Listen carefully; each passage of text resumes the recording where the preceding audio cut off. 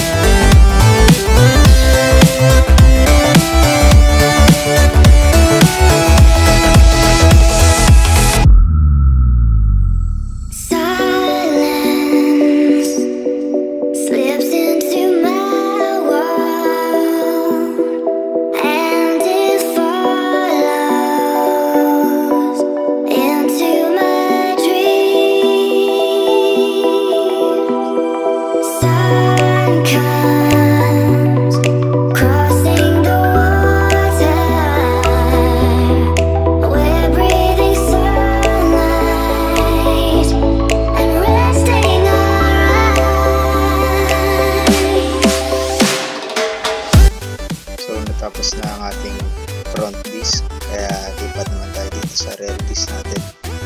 At ito ay na-unbox natin yung order natin sa Shopee. For only 320 pesos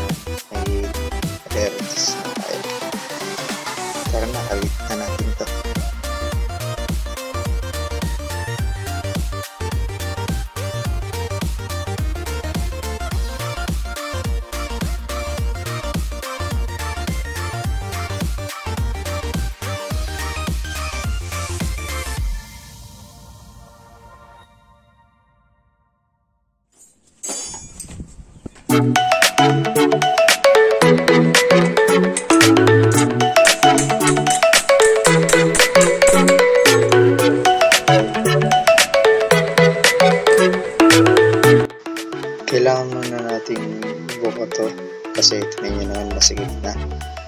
Hindi na kasya nung disc, ba- bago nating disc kasi kumapal na siya. Kaya luluwagan muna natin to. Yan bago natin itutulak ng flat screw. Papasok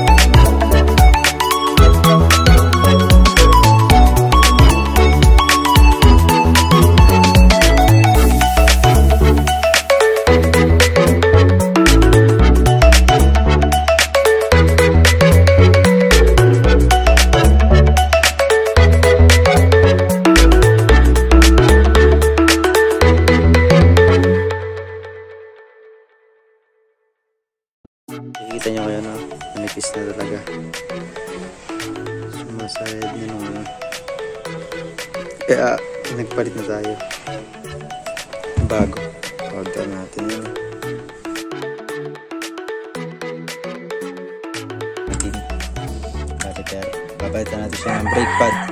Okay. Natin. RCB.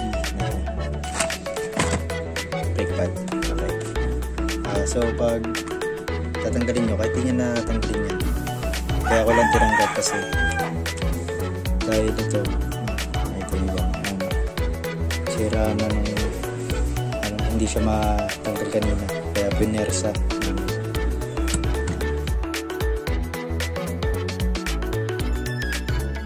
Ay, natanggal na ng cover.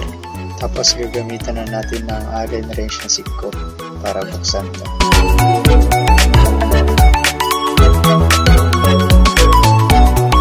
Ayan siya. Basta matanggal, tanggalin. Ayan. So, pag natanggal na,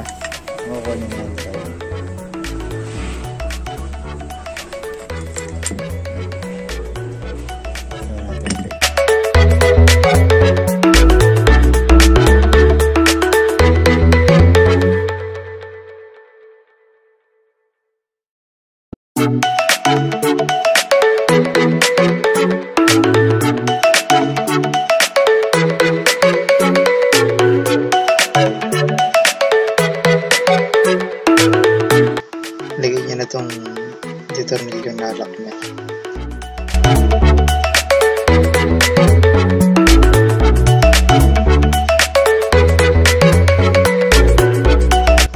So, ganun lang kadali magpalit ng rear brake pad, guys.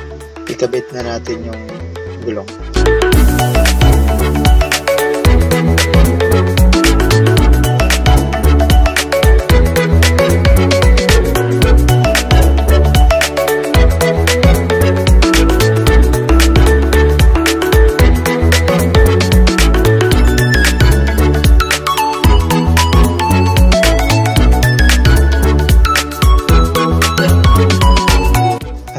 nagtatapos ang video at kung gustuhan nyo click like and share then subscribe. Maraming salamat.